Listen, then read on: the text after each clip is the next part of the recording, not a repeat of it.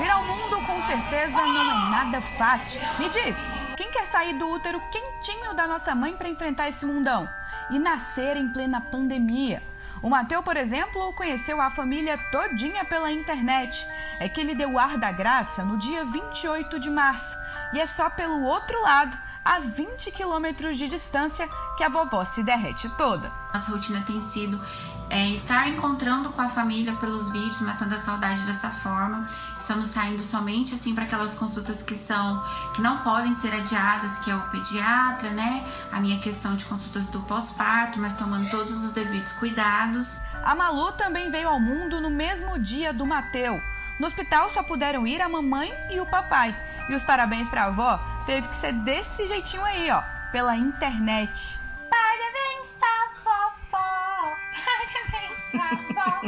É, todos os amigos, vários familiares, ninguém ainda teve contato direto com a Malu, né? De, de realmente conhecer pessoalmente a Malu, todo mundo doido para apertar, cheirar, conhecer, beijar.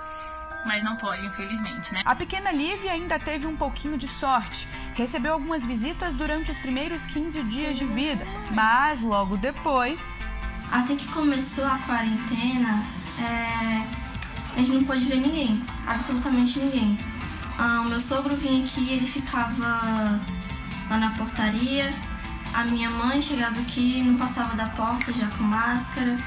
A gente tinha que ir no pediatra, era com máscara.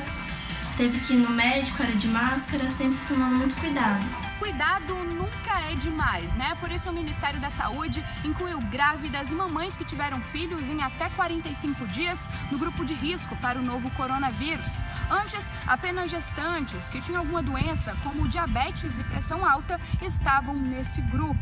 E ó, tem que ficar ligada. Segundo especialistas, em qualquer consulta ou até no próprio parto, tem que usar máscara. Ir ao pediatra numa consulta que ele consiga realizar sem aglomeração de pacientes, tá? A amamentação deve ser com máscara na mãe de preferência, né?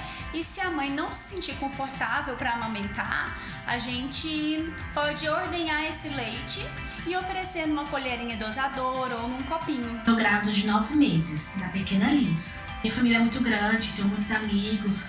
E saber que eles não vão poder ver minha filha por um bom tempo é muito frustrante.